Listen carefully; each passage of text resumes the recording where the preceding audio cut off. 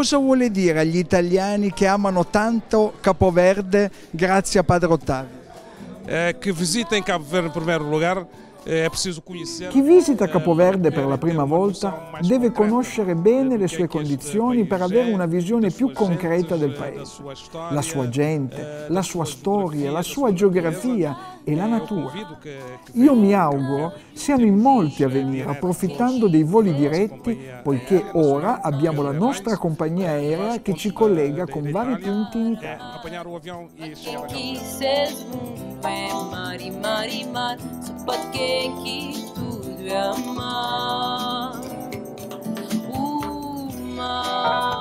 Per lei, signor Primo Ministro, chi è Padre Ottavio? Padre Ottavio è un grande uomo.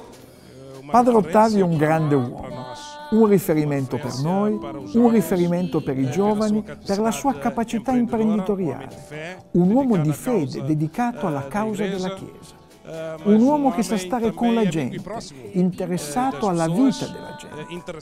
Certamente un uomo che fa la differenza perché fa in modo che le cose si realizzino. Unitamente all'associazione ASDE ha realizzato molti progetti, principalmente nell'isola di Fogo.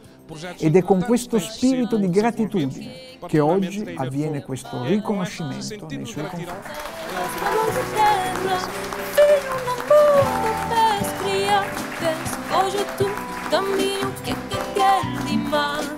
Pescatore spera non di azar sempre 54 anni di vita a Capoverde di Padre Ottavio hanno cambiato un po' questo paese.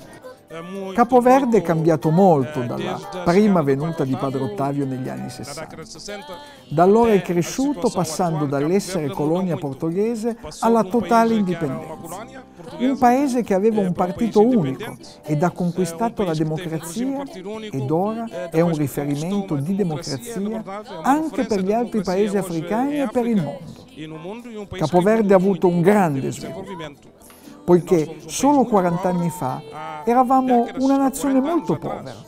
Ora siamo un paese di sviluppo medio ed aspiriamo a migliorarci ancora, grazie anche al turismo che rappresenta un punto importante nell'economia del paese.